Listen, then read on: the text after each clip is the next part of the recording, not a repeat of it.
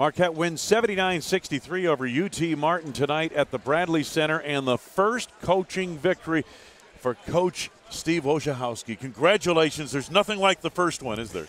No, it's uh, as I told my team last night in our team meeting. You, you know, there's only a few times in your life you get to do things for your first time. Yeah. And this is something that we got to do together, and uh, uh, I'm, I'm really proud of our guys. You know, we're we're shorthanded, um, but our guys fought, and I thought they, they played really hard and, and they played well together. So um, I'm, I'm glad it was with this group.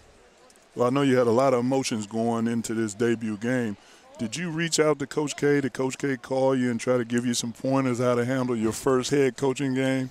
Yeah, you know, I actually talked to Coach uh, a couple days ago, and, and I stay in pretty regular contact with him. Obviously, he's an amazing mentor for me. Um, you know, and he, he just says, you know, be, be yourself. And, uh, you know, fortunately, uh, I was carried by a lot of great uh, play today by our guys, and uh, it does feel good for sure.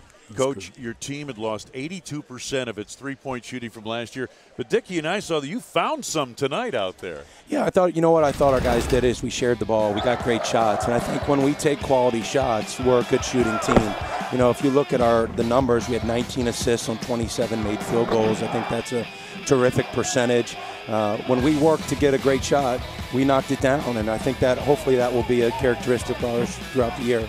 10 for 23 from downtown. Five different players with two triples in the ball game for Marquette tonight. How did you feel about your defense when you have a team starting off and it's all everything's new, new coach, new system? How did you feel about their performance defensively? I thought overall our defense was pretty good. I thought our pressure in the first half uh, was good. You know, where we struggled is getting defensive rebounds. And, uh, you know, we're, we're going to be a team that has to rebound a, uh, as a group because we're, we don't have great size.